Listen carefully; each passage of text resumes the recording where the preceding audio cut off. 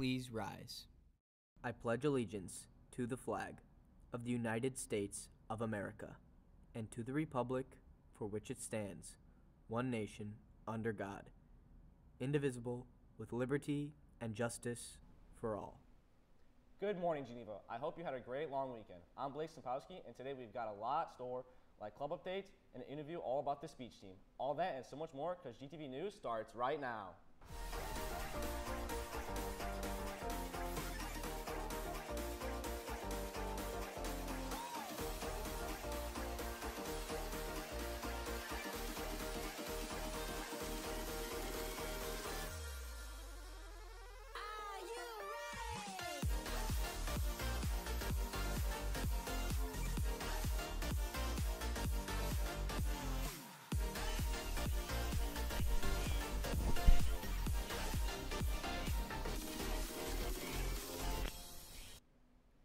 Morning announcements for Tuesday, October 12th.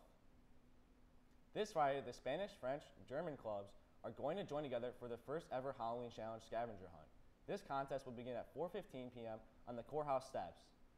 Each language will receive a prize for the winning teams and the bonus prize for the champions. Sign up with your club with Frau Sweidenbank in J240, Madame Belo in J241, or Senor Parin in J242.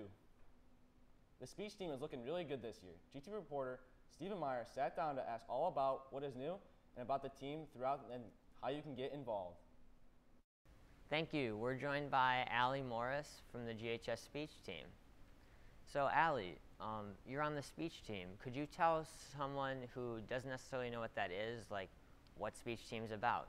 Sure. Um, so it's basically a team where you uh, engage in competitive speaking, acting. Uh, you basically uh, participate in a category and compete with other students from other schools uh, in your speaking or acting category. Is there necessarily a category for someone who isn't comfortable like standing up and maybe just giving a straight speech or like acting out a play or something?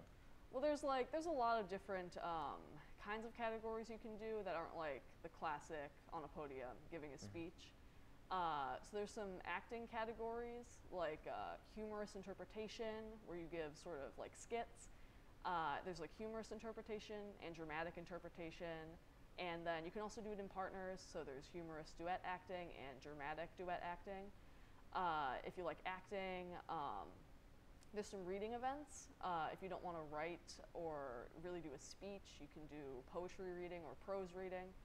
Uh, and then there's some there's some traditional speaking events like uh, uh, original oratory. Uh, that would be where you would like give like fight for a cause. Like Yeah. you would give it with a purpose. Uh, the speech. Mm-hmm. Um, original or not original uh, oratorical declaration. Uh, that's where you take someone else's speech if you don't want to write your own, and um, uh, just perform it. So there's a lot of different opportunities. Yeah, it sounds like there's a really great opportunity for everyone who for and everyone can find something they they want to get involved in. Um, of those, which ones do you participate in? Um, so for my the last two years, I did humorous duet acting. Uh, this year, I'm going to try uh, poetry reading, so a little different. Um, but yeah, it's a there's a lot of a lot of different opportunities to uh, try a lot of different things involving speaking or acting. Yeah, uh, that sounds really great. Um, is there anything you'd like to say um, with regards to people who want to come to meetings? Where can they find you guys? So uh, we're in the mobiles now uh, every Monday. So days changed a little bit, but now we're Monday right after school uh, in Mobile Four. Uh, yeah, so every Monday right after school. Yeah, All right, thank you so much, Allie. yeah, no problem. Now back to you guys at the desk. Thanks, Steven. The boys and girls bowling team will be having an informational meeting this Thursday in EE 191. Email Coach Zimbroff or Coach Meister if you can't attend the meeting. Varsity Cheer will be holding tryouts on Thursday, October 21st from 5 to 7.30 p.m. in the Mac Olson. Anyone interested must register by October 20th. Contact Miss Murphy with any questions. In weather, the fog this morning is setting spooky scene for October. There will be a high of 68 and a low of 59, and a jacket might be the way to go today. And now here's 3 to know before we go. Your technical honor society application is due tomorrow, and their first meeting will be held the following day. The GTV Club is meeting today after school.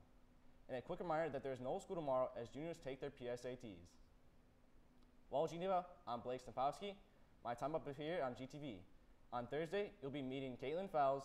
That's all the news we have for you today. Have a marvelous Monday, Geneva.